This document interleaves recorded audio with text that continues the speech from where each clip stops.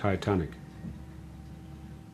Out of the scabbled grey granite womb she slipped away, tensing her umbilical chains and setting free the screams of friction. Thrust into the Irish font of maritime baptism, a miraculous mechanical conception, doomed by folly, flawed by fiction. Sea trialed and fitted out in sumptuous and bridled splendor, the white star line's coal stoked, upright iron daughter. With furnace fired, steam straining screw, she came about. Scalpel sharp, she sliced her way towards Southampton water. Where, neath flapping bunting, crisscrossed for leagues, brass bands played to the excited throng on the bustling quay.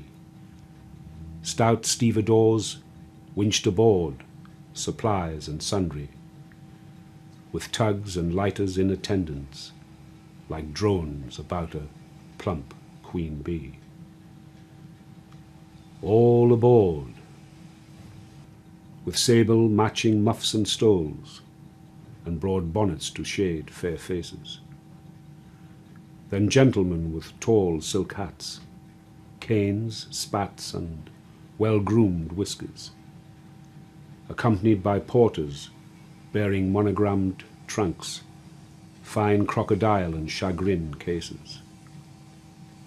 Followed by the financier, his ever-hopeful mistress, the high-ranking churchman, the enthralled engineer, the academic, the soprano, and the entrepreneur, the surgeon, the artisan, the impostor, his accomplice, the broken-hearted lover, the gambler, the actress, and the disinherited heir. All settling into their staterooms, their stations, and their berths.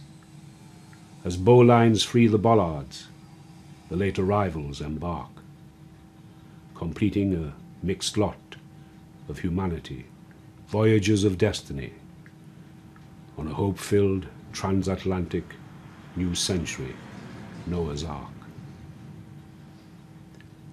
With a farewell foghorn blast, the die was cast. A piano played the beguiling notes of Beethoven's Für Elise.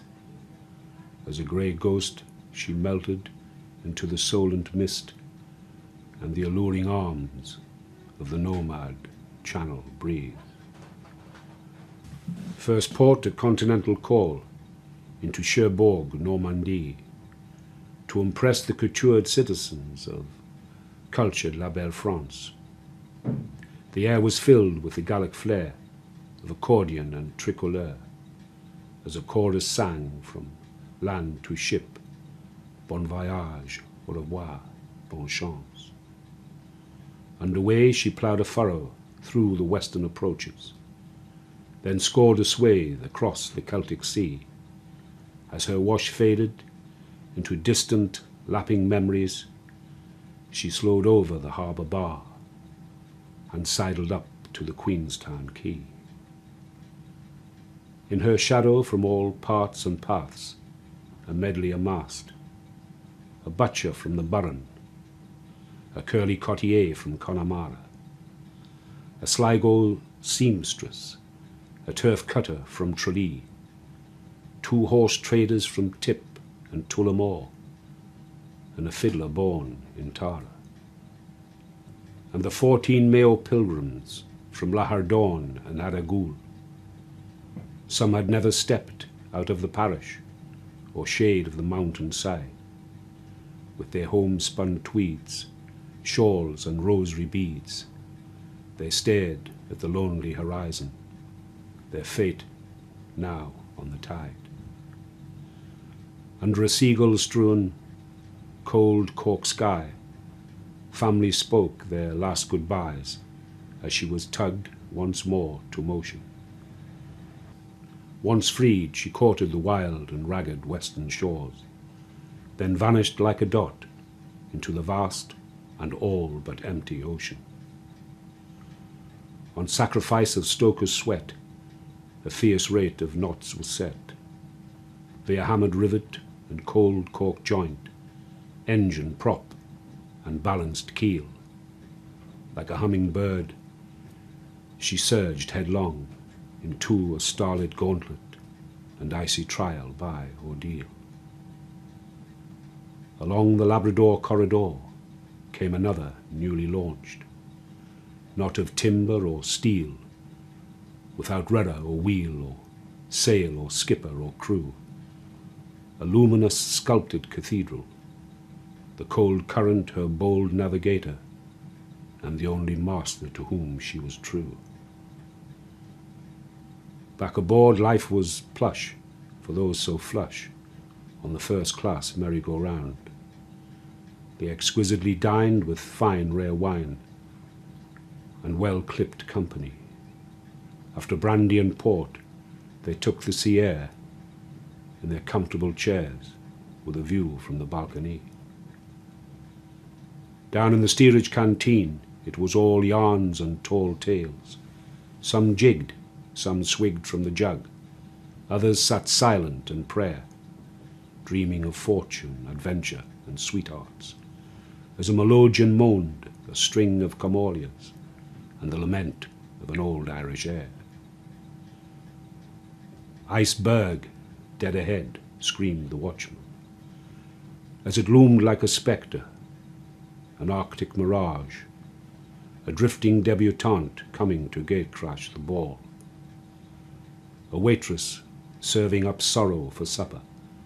Sole dish on the menu, no demarcation, a lone level table, and one plate to feed all.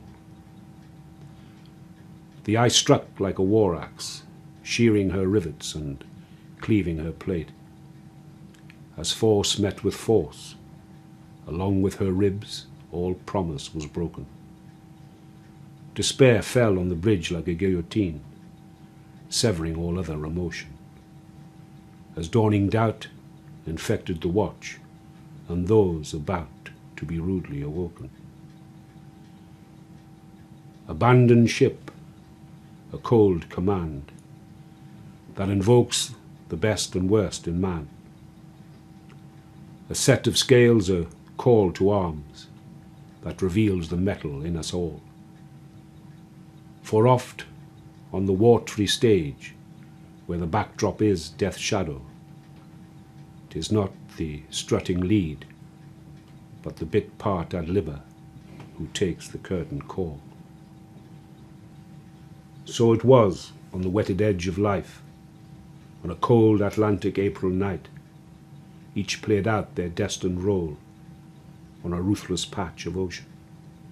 Some stood fast others bolted past, the orchestra played on, and others forfeited their very all in acts of pure devotion.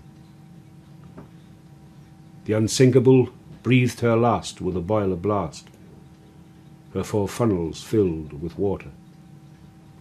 For the second time in life she slipped, now into the dark abyss where hope would find no quarter. Fifteen hundred and thirteen souls the cruel maiden claimed for the deep. The lifeboats and Carpathia rescued remaining voyagers and crew. All was sunk, save the flotsam, and there a farewell love letter, signed in a hurried hand, James Flynn of Cool Keloo and the frozen flakes migrated on and melted many teardrops into the sad Sargasso Sea, and blessed the silver eels, returning to the rivers of the angled isles to set the spirits free.